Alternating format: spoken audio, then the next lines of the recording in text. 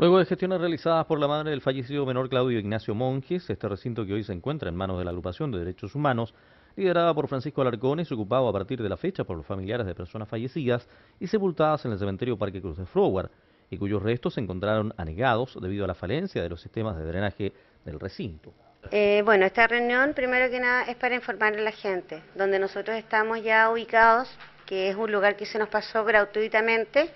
solamente eh, con los costos de comunes, que es luz, agua y gas, que eso se verá a fin de mes.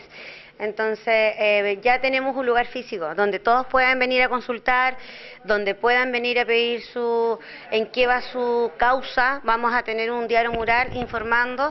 eh, cada movimiento, ¿ya? Y, y más que nada este va a ser un lugar de reunión humano. O sea, esa es la idea de esto para que la gente lo tenga súper claro. Las personas que se sientan muy afectadas, muy dolidas, sin un consuelo, yo los invito a que vengan acá y, van a ser atendidas por mí, personalmente por mí. Bueno, ellos han recurrido aquí a las agrupaciones de derechos humanos, han conversado con nosotros, nos han contado su drama porque es un verdadero drama que ha ocurrido allí y naturalmente que le hemos facilitado todos los, medios que tenemos a nuestro